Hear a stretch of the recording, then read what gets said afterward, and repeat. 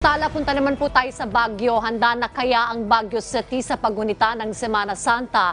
Alamin po natin mula kay Eddie Carta ng PTV Cordillera Live. Eddie?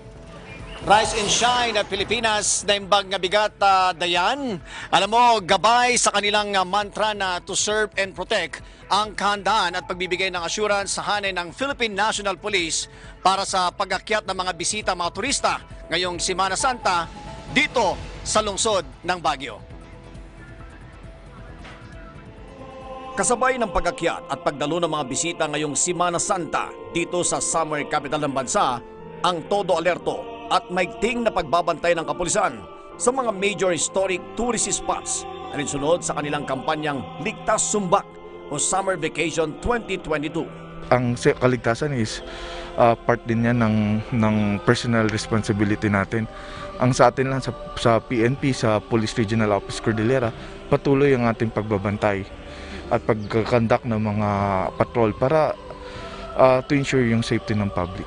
Abril 1 nagsimula ang deployment ng mahigit 9,000 personnel kasama ang Regional Support Unit at Force Multipliers para sa pagtutok sa mahigit 200 pangunahing pasyalan sa Cordillera na mayroong Tourist Assistance Desk. Nagpaalala naman ang City Tourism Officer Engineer Alec Mapalo na bagamat wala ng limit ang bisitang umakyat pero kinakailangan pa rin na magparehistro sa Baguio Visita Online.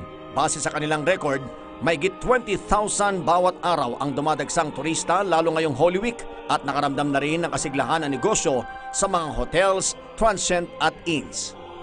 Samantala, dahil sa patuloy na pag-ulan, naglabas ng Joint Interagency Task Force ng advisory na pansamantalang isasara sa mga motorista ang Cannon Road dahil sa rockfall sa boundary ng Barangay Twin Peaks at Camp 3, Tuba, Benguet. Okay, at uh, ito na nga ang advice ng uh, Task Force sa Canon na Dayan, Aljo at ang ating mga suki sa Rise and Shine na Pilipinas na dumaan na lang po tayo sa Marcos Highway, sa Nagilian at yung Bagyo ng Alisan. At uh, sa katunayan, isa sa mga historic at major tourist spots sa uh, aking nasa likuran, ito po yung 33 kilometer na Cannon Road. Yan, nasa baba, no? At uh, ipapakita rin natin yung uh, tinatawag namin dito na Great Wall of uh, Baguio. Sa katunayan, dito rin sa aking uh, left, makikita ang uh, Santo Tomas, ang transmitter po ng uh, ating uh, himpilan. So, live and direct Mula dito sa lungsod ng Baguio, summer capital of the Philippines, Eddie Carta para sa Bayan. Maraming salamat sa iyo, Eddie Carta.